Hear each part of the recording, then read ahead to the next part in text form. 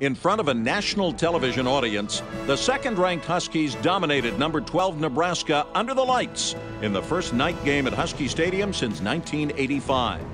Pinned close to their own goal line, the Nebraska offense twice jumped offside to set up an electrifying safety on a crushing hit from UW's Tommy Smith.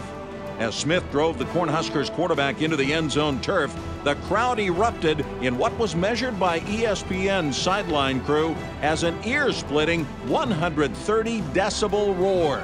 Remembered by some as the loudest game in college football history, the victory would catapult the Dogs to number one in the rankings and pave their way to another Rose Bowl appearance. September 19, 1992, Washington 29, Nebraska 14. A great game in Husky Stadium history.